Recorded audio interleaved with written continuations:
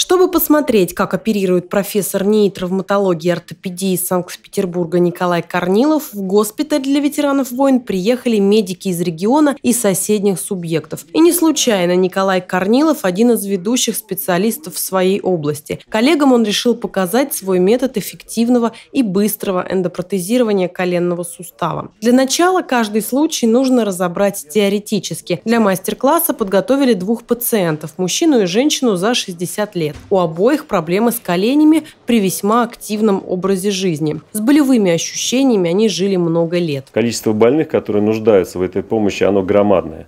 И более того, деформирующий артроз и схожая патология, она молодеет. Отчасти это связано с тем, что люди активно занимаются спортом, получают травмы. И, в общем-то, они хотят дальше поддерживать, когда это заболевание возникло, активный образ жизни. Наше вмешательство как раз этому и способствует. Да, они помогают сохранить двигательную активность, убрать боль и оставить человека способным работать и жить счастливо.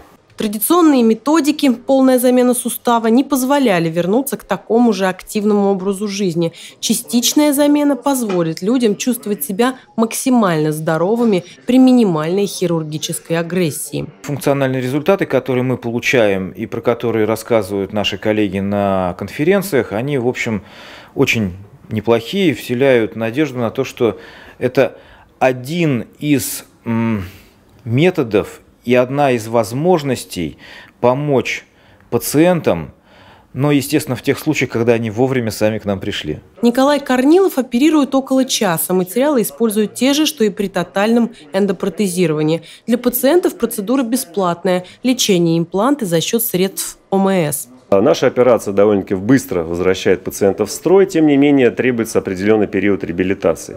Преимущество частичной артропластики, которую мы сегодня будем выполнять по отношению к тотальной, заключается в том, что действительно сроки восстановления они в два раза сокращаются. И того функционального результата, который пациент после тотальной замены сустава достигает к трем месяцам, после частичной замены пациент может уже достичь через 6 недель.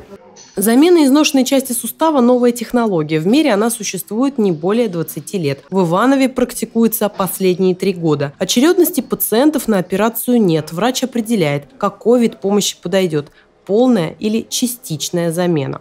Сейчас у нас не стоит цель научить всех специалистов, которые сегодня приехали, выполнять эти операции. Задача э, стоит таким образом, чтобы специалисты поняли, в каких ситуациях необходимо направлять пациентов в специализированные центры, не дожидаясь значительного прогрессирования заболевания, чтобы мы могли обойтись, ну, если не малой кровью, то, по крайней мере, э, выполнив операцию со значительно более лучшими функциональными результатами и э, с практически в два раза сокращенным сроком лечения.